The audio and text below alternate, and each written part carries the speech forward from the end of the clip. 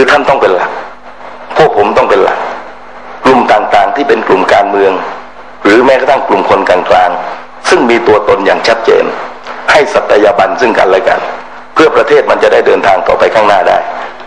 พวกผมไม่ได้ขัดข้องอะไรเลย ท่านจะรับข้อเสนอหรือไม่รับข้อเสนอก็ตามเป็นสิทธิของท่าน แต่ในฐานะผมเป็นประชาชนคนหนึ่งเนี่ย ผมไม่ต้องการที่จะมาทะเลาะเบาแวง หรือเกิดสงครามกลางเมือง หรือเกิดการเข็นฆ่ากัน ระหว่างผู้ใช้อำนาจรัฐบาลกับพี่น้องประชาชน เพราะถ้าท่าน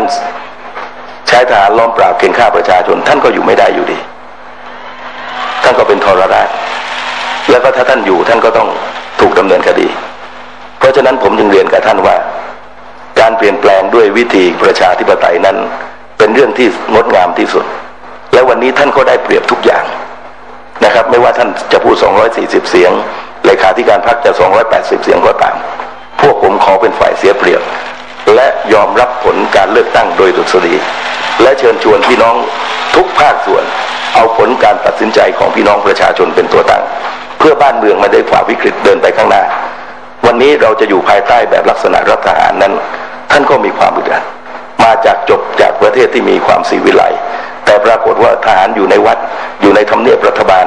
อยู่ในสภา อยู่ในสวนสัตว์ อยู่ในโรงเรียน อยู่ตามสีแยกอยู่บนทางด่วน นี่มันไม่เป็นประเทศเลยเพราะฉะนั้นผมเชื่อว่าการเสียสละของท่าน จะนำพาประเทศฝ่าฟันวิกฤตไปได้ เพียงแต่ท่านสามารถมองข้ามสถานการณ์ณเวลานี้ได้หรือไม่ ถ้าท่านเสียสละ และได้รับการยอมรับจากประชาชนกลับมา ท่านจะเป็นนายกที่ยิ่งใหญ่ แต่ท่านไม่เสียสละท่านเห็นว่าท่านต้องอยู่ ผมไม่แน่ใจว่าท่านจะจบชีวิตในตำแหน่งนายกรัฐมนตรีอย่างไร จะทรราชหรือว่าเป็นอดีตนายกรัฐมนตรีที่สั่งปราบปรามประชาชนด้วยความเคารพนะฮะนายกจะตอบก่อนหรือจะอนุญาตให้ผมพูดก่อนนะฮะผมคิดว่าคงจะต้องตอบกันนะครับเชิญครับเพราะว่าใช้เวลาเยอะที่จริงนึกว่าวันนี้เรามาเนี่ยไม่ไม่พูดซ้ำประเด็น นึกว่าวันนี้มาเพื่อที่จะเดินไปข้างหน้า แต่ว่าเมื่อท่านกล่าวหาเยอะนะครับ ผมก็ต้องบอกว่าหลายเรื่องเท็จก็ขอเชิญแจงเชิญเชิญนะครัสบายครับนะก็ถือว่าจะได้ได้ได้ได้ได้โอโอกากาสสแลกเปลี่ยนกันได้โอกาสพูดกันต่อได้ประเด็นแรกนะครับ ที่บอกว่ามาโดยไม่ชอบเนี่ย ผมก็ได้ชี้แจงมากไปกว่าที่พูดหยิบยกประเด็นตัวอย่างของอดีตในประเทศไทย หรือว่าในประเทศอื่น การเลือกนายกรัฐมนตรีตามรัฐธรรมนูญฉบับปัจจุบันเนี่ยครับ ค่อนข้างจะพิเศษกว่าในอดีตด้วยซ้ำสมัยก่อนเนี่ยนะครับเขาล็อกกันเป็นพักๆเลย เชิญหัวหน้าพักมาพูดแล้วก็บังคับเป็นมติพักแล้วก็ส่งบัญชีเลือกกันทำนั้นรัฐธรรมนูญฉบับนี้เนี่ย ให้สอสอพูดง่ายๆภาษาหลวมๆมานะ มีเอกสิทธิ์มีอิสระ ไม่จำเป็นต้องทำตามมติพัก แล้วก็การลงคะแนนในวันนั้นก็ไม่ได้เป็นไปตามมติพักด้วยเพรามีบางพักที่สมาชิกสภาผู้แทนราษฎรเนี่ยเขาลงมติไม่เหมือนไม่เหมือนกับเสียงส่วนใหญ่ในพักเขา ผมคิดว่าเป็นการดูถูกดุลพินิษของสสมากเกินไป ตัวแทนของปวงชนชาวไทยมากเกินไป ที่จะไปบอกว่ากระบวนการนั้นไม่ใช่กระบวนการที่ตั้งนายกรัฐมนตรีสำคัญกว่านั้นก็คือว่ารัฐบาลนี้ดำรง อยู่ในวาระอยู่ในตำแหน่งมานี่ก็อยู่ในกระบวนการรัฐสภาทั้งสิ้นพักเพื่อไทยก็เปิดอภิปรายไม่ไว้วางใจก็แล้ว การพิจารณาเรื่องสำคัญสำคัญในสภาก็ดำเนินการกันมาตามปกตินะครับ การเลือกตั้งซ่อมก็มีขึ้นหลายครั้งปีที่แล้ว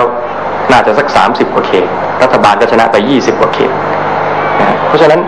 มันก็เป็นกระบวนการของรัฐสภาตามปกติ ผมคิดว่าเราไม่ คือในแต่ละประเด็นเนี่ยถ้าเราจะเถียงกันอย่างนี้ยคงไม่จบนะครับ แต่ว่าผมเรียนเพื่อให้เกิดความเข้าใจที่ถูกต้อง เช่นเดียวกันนะครับ เมื่อบอกว่ามาโดยกติกาที่ไม่ชอบลาบไม่ควรได้อะไรก็แล้วแต่เนี่ยมันก็มีข้อคิด ถ้าท่านบอกรัฐธรรมนูญไม่ชอบแล้วท่านลงเลือกตั้งทำไมครับตำแหน่งสสท่านก็เป็นลาบที่ไม่ควรได้เหมือนกันถ้าอย่างนั้น ผมก็เห็นท่านก็เป็นสสใช้เอกสิทธิ์สสทุกประการ นะครับ ประเด็นก็คือว่าเมื่อมันมีกติกา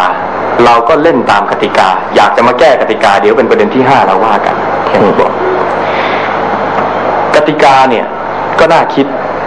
เพราะว่าเขาก็ดูจากประสบการณ์ในอดีต ท่านเห็นด้วยไม่เห็นด้วยก็สุดแล้วแต่ แต่ว่ารัฐธรรมนูญฉบับนี้เขาป้องกันเขากลัวมากเรื่องการทุจริตการเลือกตั้งใส่ยาถูกยาผิดไม่ทราบครับ แต่กติกาเป็นอย่างนั้น รัฐบาลที่มาแล้วปรากฏว่าต่อมาภายหลัง พบว่าเสียงที่ได้มามันได้มาโดยไม่ชอบเนี่ยแหละครับเขาก็ถือว่าถ้าจะใช้หลักลาบไม่ควรได้เนี่ย มันก็เป็นจุดที่ทำให้เปลี่ยนแปลงรัฐบาลได้เหมือนกันนะเพราะฉะนั้นผมคิดว่าวันนี้อยู่ดีๆ เรามาบอกว่า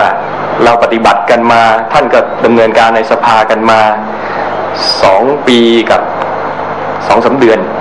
นะครับ แล้วมาถึงวันนี้เราก็มาบอกว่ามันไม่ถูกมาตั้งแต่ต้น แล้วจะมาเรียกร้องเนี่ยมันเป็นเหตุผลที่แปลกอยู่นะครับ ก็อันนี้ประเด็นที่หนึ่งก็คาบเกี่ยวไปประเด็นที่สองที่พูดเรื่องรัฐธรรมนูญ ผมก็ย้ำอีกครั้งนะครับ ผมเป็นคนที่พูด ว่ารับแล้วแก้ แต่คำว่าแก้รัฐธรรมนูญเนี่ย ต้องเข้าใจกันสักนิดนะครับคุณจำนิพูดแก้รัฐธรรมนูญก็อาจจะคิดคนละเรื่องกับคุณวิระพูดแก้รัฐธรรมนูญ อาจจะคิดคนละเรื่องกับที่ประชาชนบางคนเขาสนใจเรื่องรัฐธรรมนูญ อยากจะแก้ไขอยู่กระบวนการของรัฐธรรมนูญเนี่ยเมื่อวางมาแล้ว เราก็ปฏิบัติตามรัฐธรรมนูญเพราะเราเป็นนิติรัฐนะครับ เดี๋ยวในรายละเอียดว่าแก้ไม่แก้ตรงไหนอย่างไร อดีตที่ผ่านมาพยายามแก้ไขกันอย่างไรหรือไม่เนี่ยนั่นอยู่ประเด็นที่ห้านะครับแต่ประเด็นที่สองที่พูดว่าไม่หนึ่งบอกไม่ยอมรับผลของการทำงานของสภาสองไม่ยอมรับผลของรัฐธรรมนูญ ผมก็มีความรู้สึกว่า เราบางทีเลือกกันตามใจชอบอะครับ อยากใช้เอกสิทธิ์ตามรัฐธรรมนูญก็ยอมรับได้ ไม่ยอมรับรัฐบาลที่มาตามรัฐธรรมนูญก็ไม่ยอมรับทั้งทั้งที่รัฐบาลชุดก่อนก็มาตามรัฐธรรมนูญเหมือนกัน ผมว่าอันเนี้ยอย่างเนี้ยเขาเรียกสองมาตรฐานเหมือนกันนะครับ ก็เลยมาประเด็นที่สามเรื่องสองมาตรฐานสองมาตรฐานเนี่ย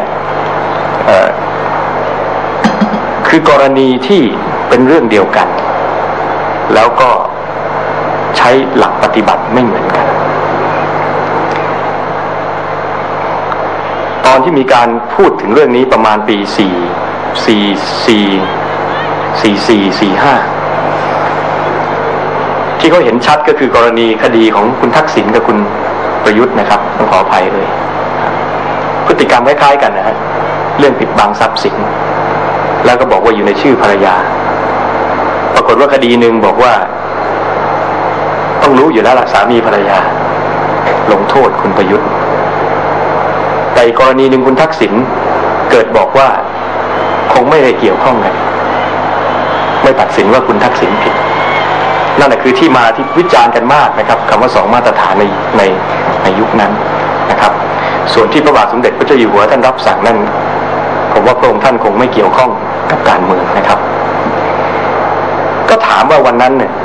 ผมรู้สึกว่าเป็นสองมาตรฐานไหมคดีซุกหุ้นทักษิณผมว่าเป็นนะครับ ผมจำไม่ได้เมื่อคุณหมอเวงคิดว่าเป็นหรือเปล่าในขณะนั้น แต่ว่าสิ่งหนึ่งซึ่งเราก็ยอมรับก็คือว่า เราก็ต้องดำรงความถูกต้องชอบธรรมของกระบวนการของศาลถ้าวันหนึ่งเราเริ่มที่จะพูดได้ว่าไอ้คดีนี้ศาลใช้ได้ คดีนี้ต้องไม่ยอมรับออกมาต่อต้านเนี่ย สุดท้ายเนี่ยระบบบ้านเมืองไม่เหลือนะครับ